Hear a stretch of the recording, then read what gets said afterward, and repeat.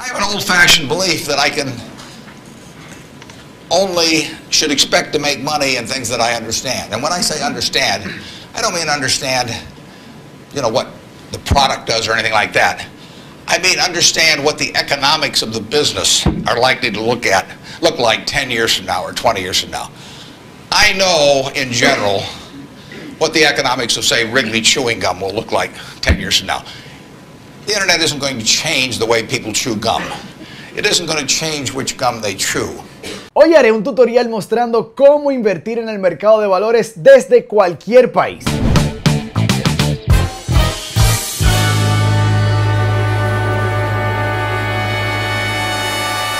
Te recomiendo ver este video completo hasta el final, pero si vienes por un tema en específico, lo que vamos a hacer aquí es que vamos a dividir esto en varias partes dentro del mismo video para que puedas saltar a un capítulo en específico si así lo deseas. En la descripción te dejo los capítulos y solo haciendo clic en el numerito del tiempo de cada uno puedes ir directamente al que te interesa.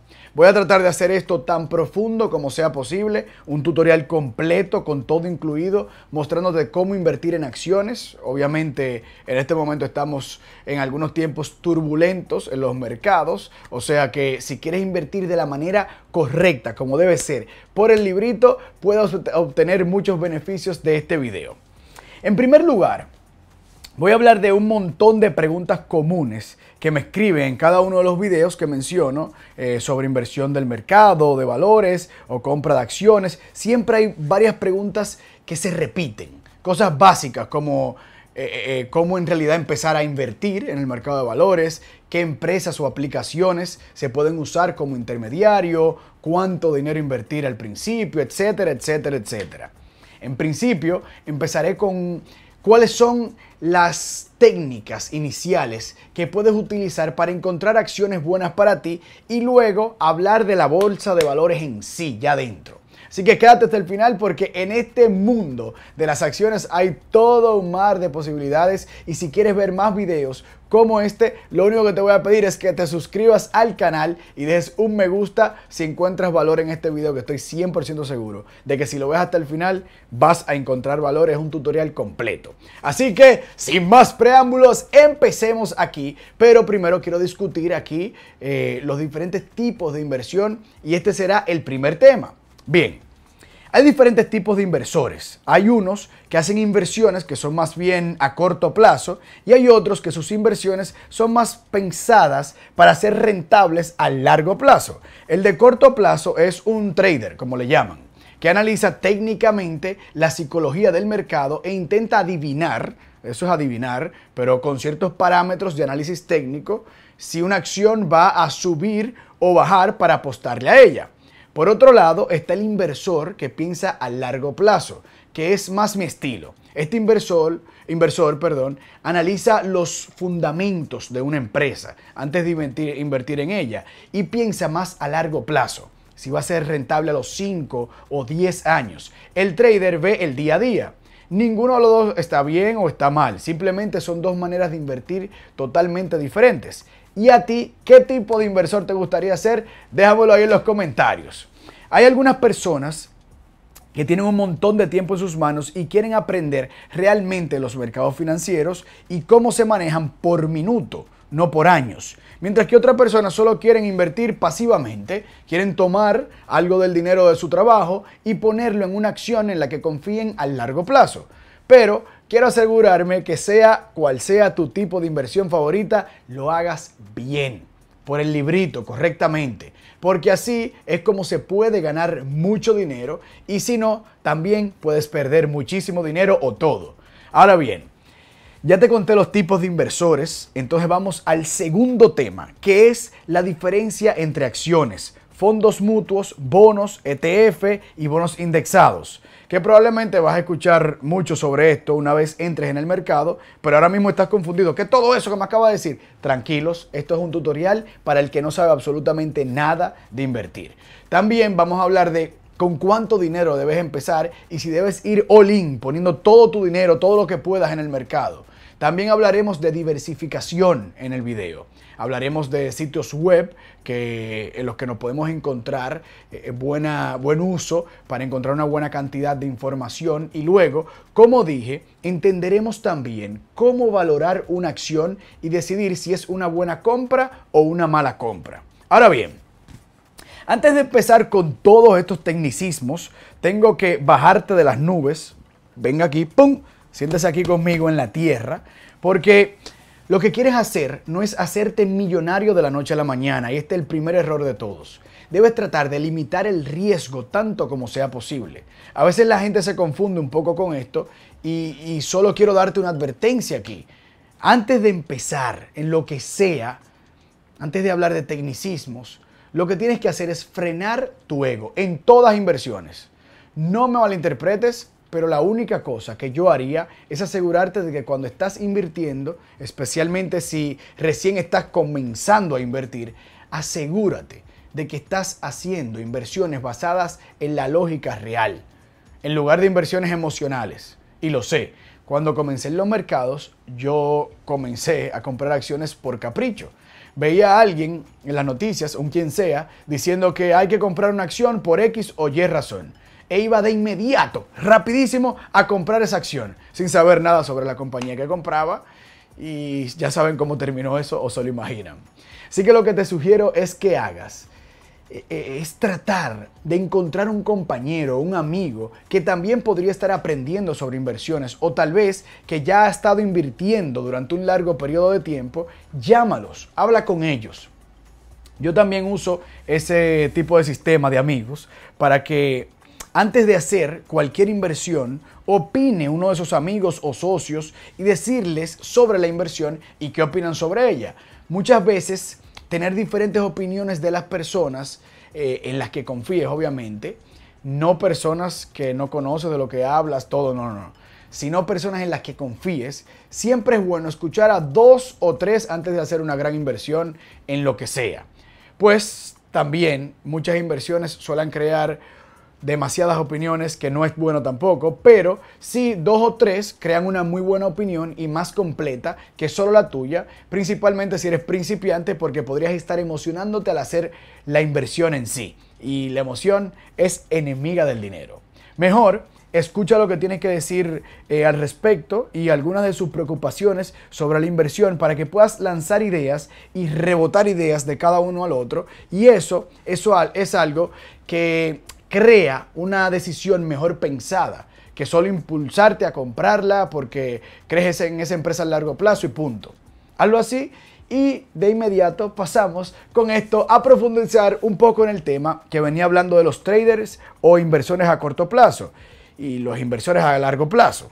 Empezamos hablando de los diferentes tipos de inversores con diferentes estrategias para invertir como me escuchaste al principio. Manuel, ayúdame dibujando aquí al analista técnico. Así es, está el análisis técnico que es el que llamaba trader y está el inversor a corto plazo. Esto del inversor a corto plazo es más como el análisis fundamental de una empresa. Está el análisis técnico, que es el que llamaba trader o inversor a corto plazo. Y luego están otros que usan el análisis fundamental, que son inversores a más largo plazo. Pero hay otros de los que no te he contado que prefieren invertir utilizando la estrategia de gestión pasiva. Pero Carlos, no te vayas tan técnico. ¿Qué es eso de gestión pasiva? Tranquilo que te cuento.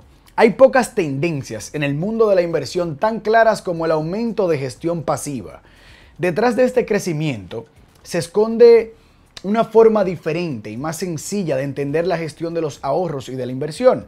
La gestión pasiva es especialmente útil para el pequeño inversor con conocimientos financieros limitados, pocas ganas y menos tiempo para dedicarle a sus inversiones. Existen dos formas de invertir. La primera y tradicional es tratando de superar al mercado invirtiendo directamente en empresas o fondos con diferentes estrategias. La segunda es asumir que no se puede superar al mercado de forma continua y tratar de replicarlo. Entonces, la conclusión a la que llegó John Bogle es un, el fundador de Vanguard, si lo han escuchado. Lo que él dice es que tras comprobar que buena parte de los gestores de fondos no conseguía batir el mercado consistentemente a lo largo del tiempo, entonces creó su estrategia basada en la gestión pasiva y la inversión indexada. Estoy entrando en un poco técnico, pero les contaré todo tranquilo, quédate aquí conmigo. En este sentido, se podría definir la inversión pasiva como el invertir en índices en lugar de buscar las mejores oportunidades del mercado y hacer selección. Estas tres, trading a corto plazo con análisis técnico, inversores a largo plazo con análisis fundamental e inversores de gestión pasiva, que son realmente las tres principales estrategias al invertir. Ahora bien, tanto en lo que digo siempre en este canal y lo que hago en mi vida y lo que la mayoría de los inversores de Wall Street hacen y en todo Estados Unidos y en todo el mundo hacen es utilizar algún tipo de análisis fundamental mezclado con un poco de análisis técnico, ¿entienden? Como mezclarlo, pero siempre pensando a largo plazo. No el análisis técnico de, mañana ganaré mil, mil dólares, no. Cada mes que pasa, confío más en el análisis fundamental que en el técnico. Y no digo que el técnico no funciona, ¿eh? pero sí que prefiero analizar una compañía y esperar que funcione a largo plazo en vez de estar analizando minuto a minuto u hora a hora lo que pueda pasar con una acción determinada. Lo que queremos es encontrar empresas que su valoración actual, o sea, el precio actual de sus acciones, sea más bajo que lo que debería ser en este momento. Y hay varias maneras de ver o comprobar esto. Pero primero vamos a discutir un par de otras cosas antes de entrar en esa materia. Pero sí, entiendo, el análisis técnico funciona perfectamente, pero esto es en realidad algo más para alguien con un poquito más de tiempo en sus manos, como un comerciante del día a día o comerciantes de muy rápido movimiento que obtienen al comprar una opción y venderla rápidamente ahí, basados en técnicas de los gráficos de acciones, y ganan dinero con eso. Por lo que la verdad es que la mayoría de los inversores, y me incluyo, yo no, voy a sentarme frente a tres pantallas grandes y ponerme el día entero a mirar los gráficos de acciones eh, todos los días durante horas para ver cómo cada par de minutos esos gráficos bursátiles cambian y ver el precio subir y bajar. Me siento que me volvería loco incluso. Subir, bajar, subir, bajar todo el tiempo. Realmente lo que estoy enfocado es en el largo plazo. Y como dije, la mayoría de la gente en Wall Street se enfoca en las inversiones a largo plazo, a largo plazo también. ¿eh? Si no, y no me crees, escúchalo tú mismo de el que más mencionamos en este canal, Warren Buffett, el inversor con mejores números de la historia. The idea of people taking a position and they're gambling, they're not investing. Nobody's investing when they buy you know, some supercharged index on, you know, on how the VIX does or something like that. They don't need it in their life. It's an unnecessary instrument. Now, you know, they will create instruments that the, the public will buy, and, and, you can just count on that. Wall Street's been doing that for since they met under the buttonwood tree in 1792 or whatever it was on the exchange. So, but if you're investing, if I'm going to buy a half interest in a McDonald's stand and you're going to run it, or McDonald's franchise, you're going to run it, I look to the business to determine whether I made a good investment. And I'm, I'm, concerned about, you know, whether we have new competition, how we do over the years. But it's the business I look at. When you're just looking at the price of something, you're not You're not investing. I mean, if... Así que no deberíamos preocuparnos tanto por la actividad del día a día, pero sí en un lapso más de meses o años, diría. Pensando en lo que esta empresa puede ser en un futuro, no en mañana ni pasado. Claro está, conozco gente que gana bastante dinero tradeando diariamente y en realidad lo haría si tuviera mucho tiempo en mis manos. Pero te sugiero coger algunos libros de análisis técnico para domis, le llaman, y empezar a entenderlo. Y luego tomar una decisión de cuál estrategia es la mejor para ti. Pero este video no es realmente sobre análisis técnico, ni mucho menos. Nos estaremos centrando en inversiones a largo plazo, que realmente puedan crear riqueza más segura, podríamos llamarle. Y también debo mencionar que en realidad no soy un asesor financiero, solo soy una persona aquí en el Internet. Así que asegúrase de que toda esta información que estás aprendiendo aquí en este video también puedas investigar y double check, como dice el americano, hacer un, doble chequeo ahí de que lo que está diciendo Carlos es lo correcto.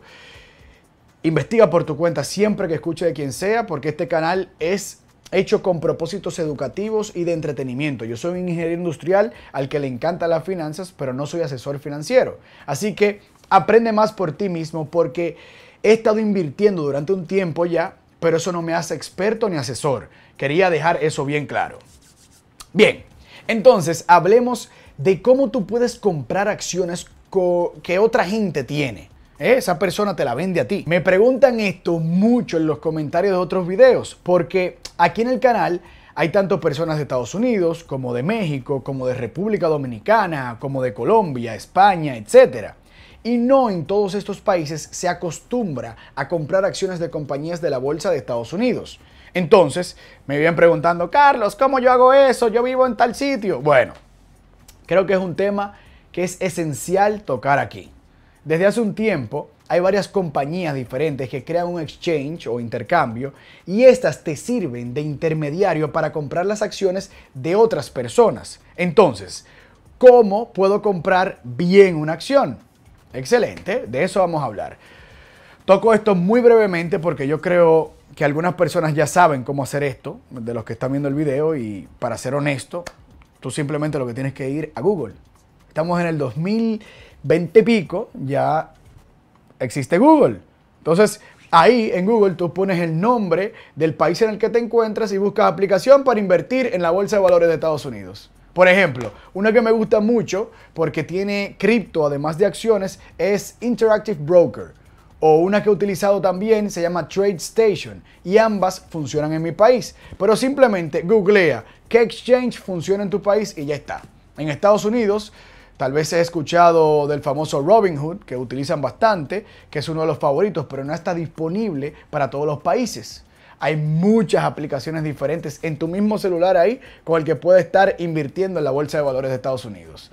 Sencillo, busca que esté disponible para tu región y es demasiado buscarlo, es demasiado fácil buscarlo en estos tiempos. Solo googlealo. No sé por qué hacen tanto esa pregunta, no soy Google. ¿Lo googleas? Pero para ser honesto, realmente no importa tanto qué aplicación o corredor utilices. Lo que más importa es cómo lo utilices. Y por eso te recomiendo ver todos los capítulos de este video pues vas a aprender casi todo lo básico que debes saber para invertir en el mercado de valores de Estados Unidos y no apostar. No es lo mismo invertir que apostar. Si eres de aquellos que le gusta apostar su dinero, este no es el video para ti. Largo, bye bye. Aquí lo que queremos es ganar dinero a largo plazo, no inventar con nuestro dinero a ver si nos hacemos millonarios de la noche a la mañana. No, no, no, no. Y en cuanto al intermediario para comprar las acciones, casi todos son bastante similares entre sí. Así que no te cohibas de elegir uno o el otro. Lo importante es que empieces, pero que empieces utilizando las estrategias que te daré en este video. Ahora bien, vamos a hablar de acciones y cuáles específicamente comprar. Solo diré brevemente porque sé que para algunas personas este tema ha sido mucha preocupación y no entienden qué es una acción, cómo funciona la forma más básica de comprar una acción, etc. Bueno, una acción en su esencia es una parte de una empresa que posees. Así que cuando compres tu primera acción, estás comprando una pequeña parte de esa empresa. Incluso nuestro gurú de las inversiones, Warren Buffett, lo explica mucho mejor cuando él dice que cuando él compra una acción, aunque eso sea solo un pedacito, una parte de una compañía, él lo ve como si está comprando la compañía completa. Pues se tiene que sentir en parte dueño de ella y analizarla desde el punto de vista como si fuera dueño de ella completa, aunque solo sea un par de acciones que haya comprado, él no compra un par de acciones, pero nosotros sí.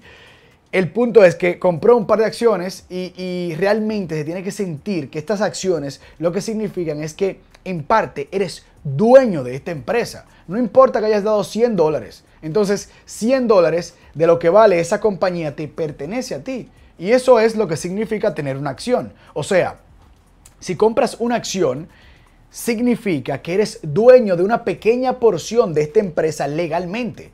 No es que estés inventándote esto. En realidad, posees una parte de esa compañía por más mínima que sea. Y entonces, ¿qué puede suceder aquí? Algunas empresas tienen lo que se llaman dividendos. ¿eh? Anota esa palabra. Necesito que estés escribiendo las cosas importantes de este video. Tienen algunas empresas lo que se llama dividendos, que cada cierto periodo, por lo general anual, el dinero que han ganado, que no piensan reinvertir en la compañía, lo dividen a sus accionistas, que son verdaderamente los dueños de esa compañía pública, según la cantidad de acciones que tengan, obviamente. Ejemplos de estas compañías que pagan dividendos pueden ser Unilever, Clorox, Intel, Citigroup, Ambev, me siento tan estúpido haciendo esto, pero soy youtuber, entre muchas otras compañías. Y dependiendo del tipo de empresa, te pueden invitar incluso a asambleas de accionistas, porque esta compañía saben que tú como accionistas eres en parte dueño de ella y debes saber el pasado, presente y planes a futuro de la empresa que eres dueño. Especialmente si posees muchas acciones de una empresa, ahí de verdad eres el manda más. Además, muchas veces estas compañías públicas hacen que sus accionistas principales tomen decisiones importantes. Por ejemplo, si posees una acción eh, que no vale realmente mucho, no tienes ni voz ni voto en esto, pero algunas personas que poseen 10, 20, 30% de una empresa, en realidad pueden votar sobre ciertas cosas que la empresa necesita, como por ejemplo, quién va a estar en el consejo de directores y cargos muy importantes como esos. Así que es realmente muy interesante cómo puede funcionar esto de las acciones. Pero sí, eres dueño de una parte de la empresa, a diferencia de los bonos, que lo que hacen los bonos es como si literalmente le estás prestando dinero a esa empresa. Y luego ellos te van a dar una, devolución de ese dinero con un poco de dinero por arriba, eh, como son los préstamos, son lo que le llamas interés. Eh, te dan el dinero que le prestaste más una tasa de interés X en cierto tiempo. Si todavía estás un poco confundido y tienes dudas sobre algo, coméntalo debajo y entre nosotros vamos a orientarnos. Pero quédate hasta el final que esto apenas comienza. Esto es un mundo lleno de posibilidades. Y si no estás en él, podrías estar perdiendo la oportunidad de tu vida. Y si eres nuevo en esto, quédate porque 100% seguro vas a aprender más a lo largo de este video. Mientras explico un problema que tengo con muchos a los que con los que suelo hablar a diario, que todavía no invierten, pero no se callan con el mercado de valores. Les voy a ser claros en esto. Voy a ser claro, yo soy uno. Durante mis primeros años de mi viaje de inversiones, gasté muchísimo de mi tiempo investigando empresas para invertir. Vi mil millones de videos de diferentes empresas, de libros leyendo y supuestos gurús diciéndome en cuál debo poner mi dinero y sabes bien que en este canal digo las cosas de frente y sinceramente. No te lleves de otros. Mi gran problema, ¿eh?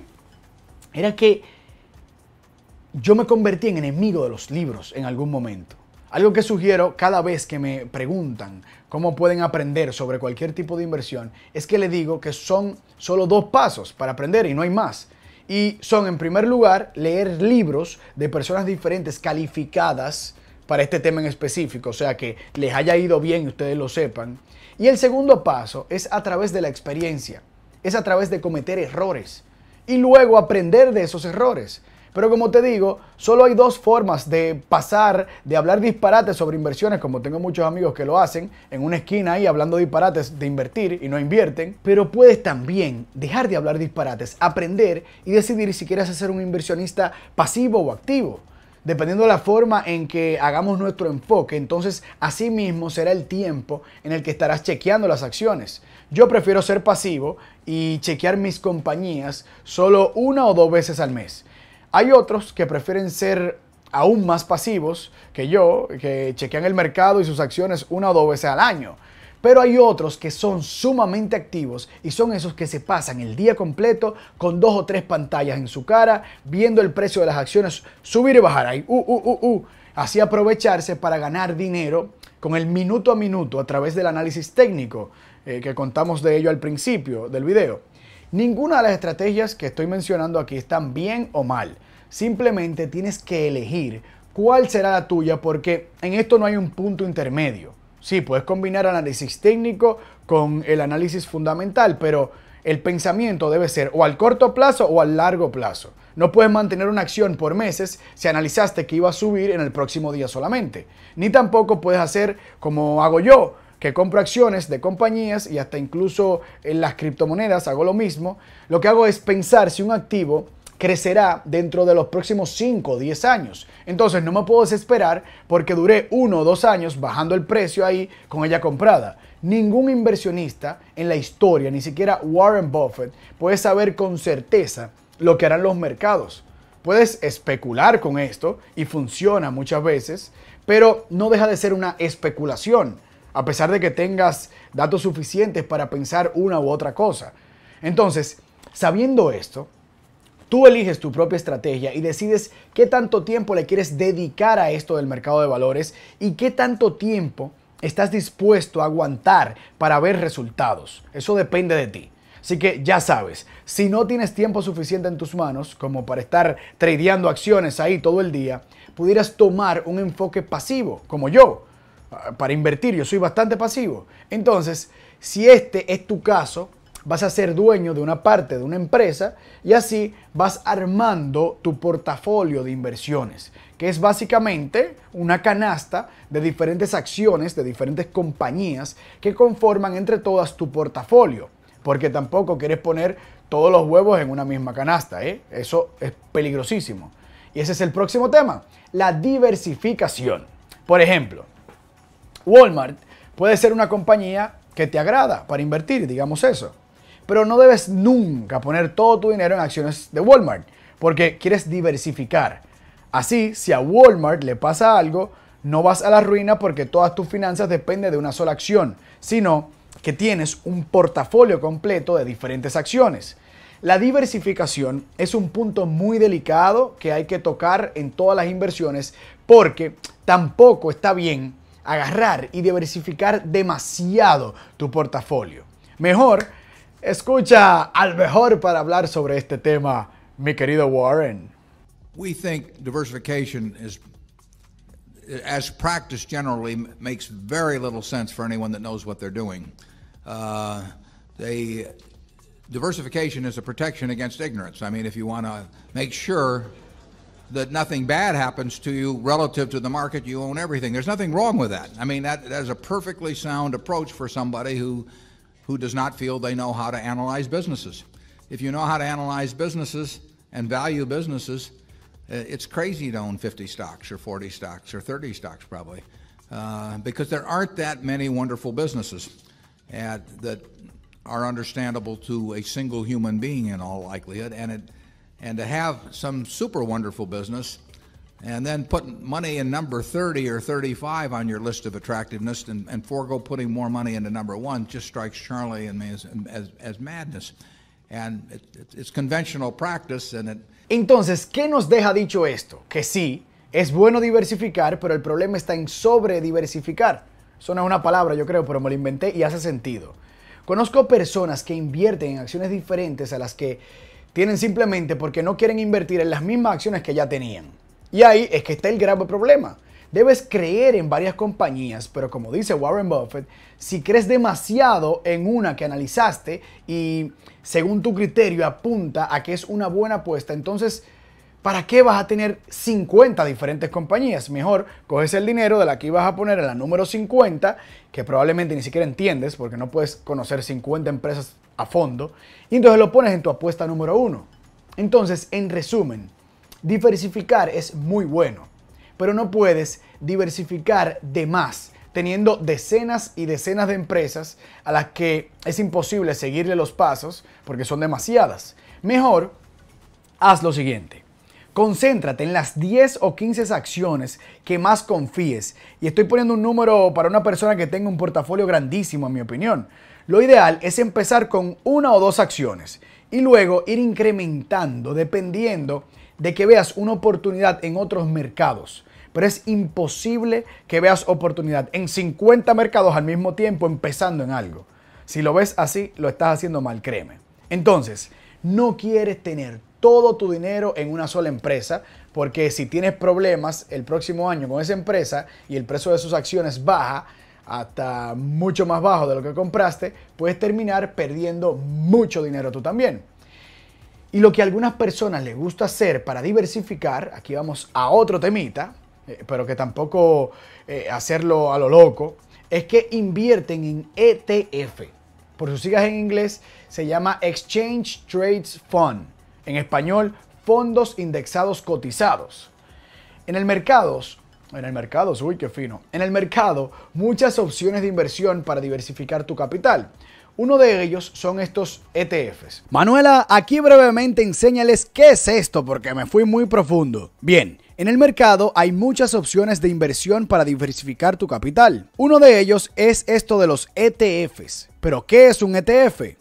Es un fondo de inversión que cotiza en la bolsa de valores, es decir, se puede comprar o vender fácilmente como si estuvieses comprando una acción individual. Es decir, se puede comprar o vender fácilmente como si estuvieras comprando acciones individuales. Su objetivo es replicar el comportamiento de un índice bursátil, como el IPC, Dow Jones o el SP 500 entre muchos otros. También puede ser materias primas como el oro o el petróleo, tipo de cambio como el peso, el dólar, el euro, por ejemplo, activos subyacentes, títulos de deuda, sectores, países, entre otros. Entonces, en este sentido, y muchas otras opciones que hay ETFs de absolutamente todos. Pero sigo sin entender, Carlitos, ¿qué es esto del ETF? Bien, en este sentido, los ETFs permiten tener una inversión tan diversificada como el índice al que se esté haciendo referencia o la clase de activos a la que se está haciendo referencia, dado que para su negociación un ETF es y se comporta como una acción e identifica con otras acciones. Por ejemplo, pongamos a Meta la compañía de Facebook, Instagram, WhatsApp, etc. Saber que este tipo de instrumento cotiza en bolsa tal vez pueda generar inquietud al asociarse a un activo de renta variable. Pero no te preocupes, también existen diferentes tipos de ETFs y especializados en deuda para inversionistas con un perfil más conservador. ¿Cómo se conforma un ETF, Carlos? Todavía no entiendo nada. Tranquilos. Bien, los ETFs se conforman como cualquier fondo de inversión diversificado en diferentes instrumentos financieros. La diferencia es que estos fondos cotizan en bolsa. Por ejemplo, si adquieres, si, adquieres, uy, estoy muy hoy. Si adquieres un ETF que replique el comportamiento del índice de Estados Unidos, se llama Nasdaq 100 Significa que estás invirtiendo en una canasta diversificada en las 100 compañías más importantes de la industria de la tecnología como Facebook, Apple, Amazon, Alphabet, Microsoft, te resultan conocidas, ¿verdad? Ahora imagínate invertir en todas ellas en una sola acción. Eso estaría interesante, ¿no? ¿Te gustaría invertir en ETFs? Te leo en los comentarios y espero que hayas entendido y esto tenga sentido para ti. Si no, Pregunta lo que quiera en los comentarios y trataré de responder lo más posible que esté allá abajo. Así que simplemente diversifica tus inversiones y la ventaja de esto es que digamos que inviertes en un ETF como el SP 500, es un fondo indexado que representa 500 de las empresas más importantes de los Estados Unidos. Así que si invertiste dinero en ese pozo, estás bastante bien diversificado, son 500 empresas. Y así, lo que esto significa es que digamos que una de estas 500 empresas quiebran, caen en bancarrota del todo, no les queda dinero y se hundieron, catástrofe, y el precio de sus acciones se fueron a cero. Bien, si compras un fondo indexado, entonces esa empresa solo sería una parte de las 500 que tienes invertidas allí. O sea, hay 499 otras empresas que deberían respaldar tu dinero y con suerte esto, si no es que la quiebra viene porque el mercado completo se ha visto afectado, ahí si estás en problema, porque esto de apostar al índice es apostar a todo lo que conlleva. Por ejemplo, si escogiste invertir en la S&P 500, como dije, entonces estás apostando a que la economía de todo Estados Unidos va a aumentar en los próximos años o décadas. Entonces, si es una sola empresa que quiebra, realmente no sentirías tanto efecto de eso en tus inversiones. Pero, por otro lado, si una de estas 500 empresas también se convierte en el próximo Amazon, el próximo Apple o el próximo Netflix y es absolutamente un boom y el precio de las acciones va de un dólar que valía cuando lo compraste a mil dólares, bueno, tampoco vas a ver demasiado efecto de eso porque las otras 499 acciones podrían no subir de la misma manera. Entonces, ya ves que esto tiene tanto aspectos positivos como negativos. Te cubre de posibles bancarrotas, pero tampoco ganas demasiado si una sube demasiado. Por lo que espero que tomas tu propia decisión de si te sientes cómodo apostando tu dinero a estos fondos indexados. O sea, si confías en ese mercado completo en específico, no solo en dos o tres compañías de esas. Pero, te digo desde ahora, en realidad, en el resto de este video nos enfocaremos más en acciones individuales porque sé que la mayoría de los que entraron a este video es porque quieren invertir solo en un par de empresas en específicos o en un futuro tal vez quieran invertir en 10, 20, 30 empresas y prefieren elegirlas ustedes mismos más que simplemente poner el dinero a ciegas en fondos indexados o ETFs. Así que hablemos de inmediato ya, vamos, vamos a hablar de acciones, Carlos. Vamos, vamos. Bien. En primer lugar, vamos a discutir la investigación cuantitativa versus la cualitativa. Ahora, sí es el momento de sacar un bolígrafo si no lo has hecho todavía y un papel para que no pierdas ni un detalle de lo que te diré a continuación. Hay dos estrategias de cómo buscar empresas para invertir. Una de ellas es la investigación cualitativa, que es algo parecido a los fundamentos de una empresa, mirando el modelo de negocio de la empresa, mirando su visión e incluso el liderazgo de una empresa en el mercado al que pertenezca, por ejemplo. Esto es muy importante, porque si eres de los que solo mira los numeritos, las finanzas de una compañía en específico, estás mirando números, pero no estás mirando quién es el CEO, quiénes son los accionistas mayoritarios de esta empresa, cuál es su visión a largo plazo, etcétera, etcétera, etcétera. Si solo ves los numeritos, podrías estar en un grave problema. Así que lo que quieres es asegurarte de que eres de los que mira todo el espectro completo alrededor de una compañía antes de poner tu dinero allí, a menos que te duela, que no te duela. Así que puedes asegurarte de que no hay problemas dentro de la empresa y enterarte de cuáles problemas potenciales podría haber dependiendo de la visión que tengan quienes dirigen esa compañía. Te daré un ejemplo perfecto. Y yo sé que a muchos le dolerá esto que voy a decir. Vamos a mirar a Facebook. Mucha gente es un poco cautelosa con Meta o Facebook, como le quieran llamar, debido a algunas cosas que ya han pasado con ella. Vimos el escándalo, por ejemplo, de Cambridge Analytica, si no escuchaste esta historia, te puedes entrar en un documental de Netflix que se llama The Great Hack. Póngalo aquí. ¡Pum! The Great Hack. Allí te enterarás de cómo esta compañía de data llamada Cambridge Analytica mostró el lado oscuro de Facebook, usando sus herramientas para ayudar a Donald Trump a convertirse en presidente de los Estados Unidos. Grave. Por detalles como este, es que la, la investigación cualitativa es bastante importante pero diría que la mayoría de la gente probablemente invierte alrededor del 20% de su esfuerzo en la investigación cualitativa y luego el 80% de su esfuerzo en la investigación cuantitativa, que es la de los numeritos de la empresa en la que se va a invertir. Creo que en verdad esa es una división bastante razonable para analizar una empresa. La mayor parte del tiempo que paso mirando cualquier tipo de inversión, veo primero el 20% de fundamentos, eso es lo primero que veo. Y luego, si me convence, entro los numeritos y le pongo el 80% del esfuerzo. Esa es la regla 80-20. Y aquí no te estoy hablando solo de compañías, sino de cualquier otra inversión que puedas estar analizando, como bienes raíces, criptomonedas o cualquier otra que se te ocurra. Cuando miro las inversiones, me suelo centrar full en los números financieros en lugar de las cosas cualitativas, pero siempre empiezo de primerito por la investigación cualitativa y cuando estoy convencido entonces me trago la mayor cantidad de números posibles de esa empresa para tomar mi decisión. Por ejemplo, nunca invertí en Facebook, eh, que ahora se llama Meta, la compañía, el conglomerado completo. Nunca invertí en ellos y Mark Zuckerberg porque mirando su pasado entiendo que son más propensos a tal vez escándalos en el futuro que otras compañías. ¿Y sabes qué?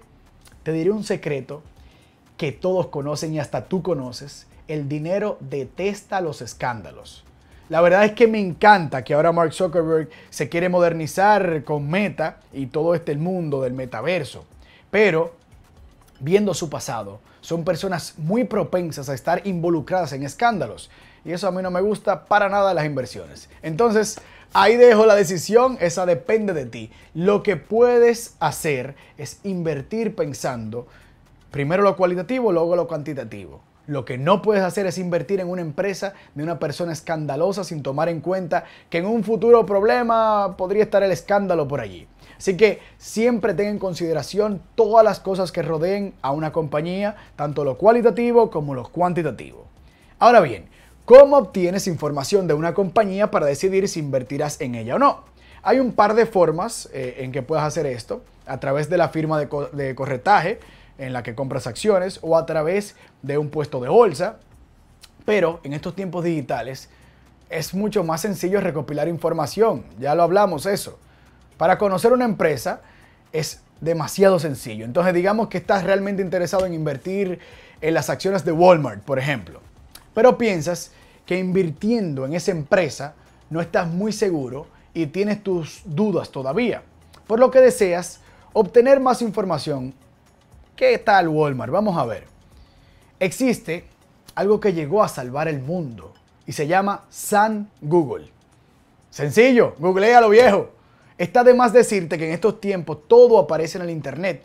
Sí, es bueno ver los números con un agente en un puesto de bolsa, pero no es obligatorio y menos cuando ya estás más avanzado y tienes experiencia en las inversiones. Entonces, en caso de que no estés en ánimo de comunicarte con un puesto de bolsa directamente y preguntarle a un tercero o que no confíes en esa, en esa persona, Simplemente puedes googlear lo que quieras sobre esta compañía y todos los números de las compañías públicas son públicos.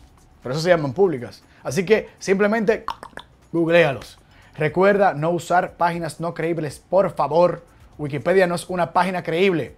Quien sea puede escribir en, en Wikipedia. ¿eh? Busca verdaderas fuentes de investigación, como por ejemplo, muchas empresas ponen sus números dentro de su página web. Pero asimismo, hay muchas otras páginas de análisis de acciones, así que simplemente evita Wikipedia y ni el rincón del vago, por Dios. no, eso es para trabajos. Pero cuando uses Google, Google, no te enfoques en la página y esto va para quien sea, no para quien quiera invertir, no en todo en tu vida. Cuando uses Google, no te enfoques en esa página de Wikipedia, a menos que sea para buscar algo rápido. Ese es el uso que le debes dar. Pero una inversión nunca debe hacerse con rapidez.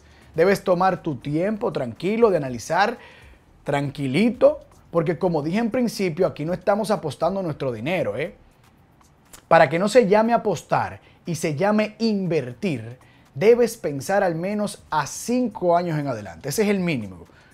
La compañía va a ser dura dentro de cinco años, más dura que ahora. El precio está bajito en comparación con lo que va a ser en cinco años.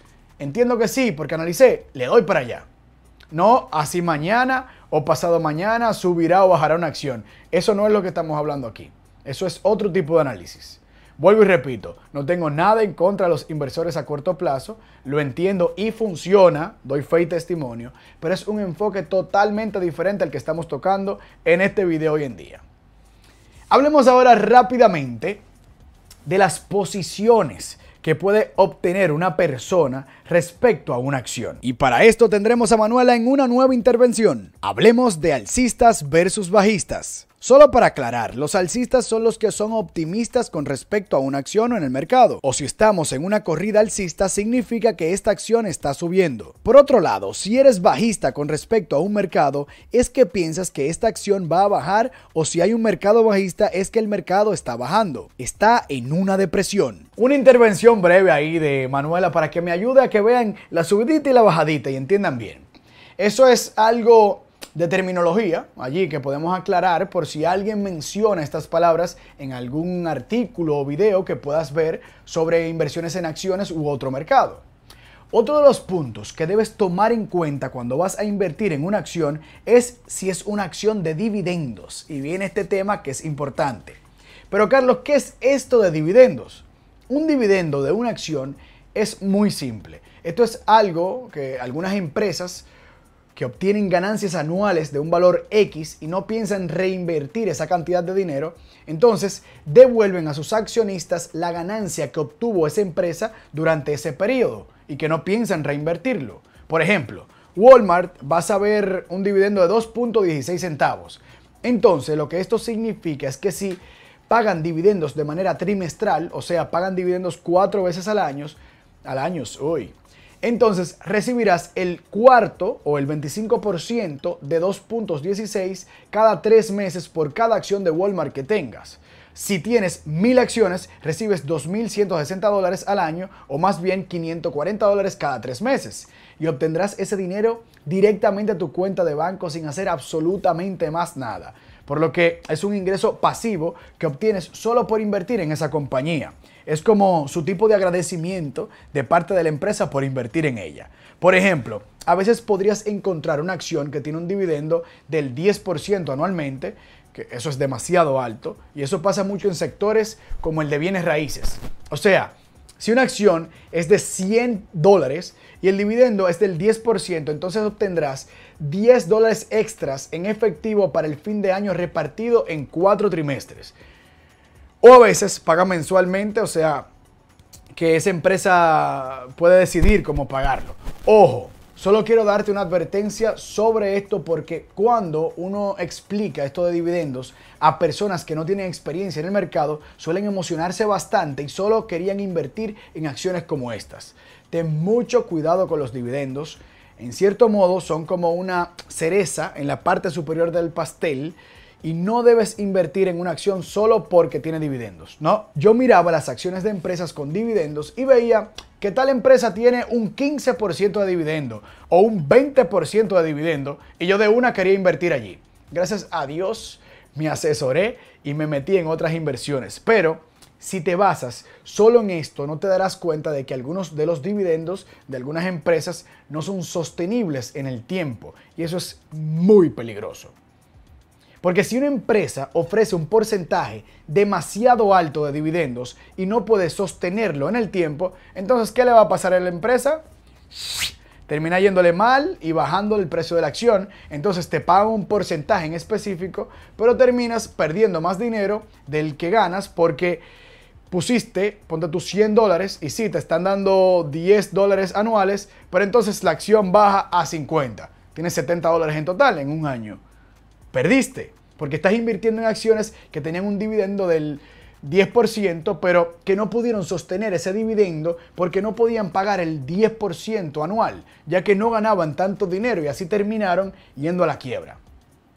Pero también si el mercado em, comienza a crecer, como por ejemplo las acciones de Walmart, las acciones podrían ser menos propensas a ver realmente un crecimiento masivo, porque no se está reinvirtiendo el dinero en la empresa.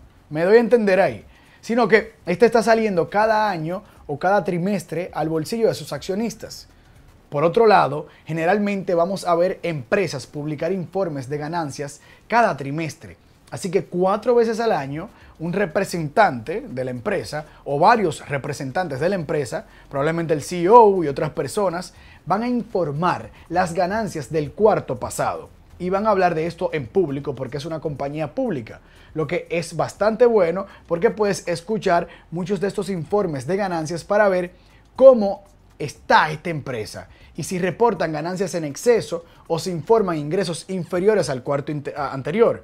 Esto es muy importante para ti porque va a tener un gran efecto en las acciones. Cuando la gente escucha eso se vuelve loca y empieza a vender o a comprar dependiendo de lo que dijeron.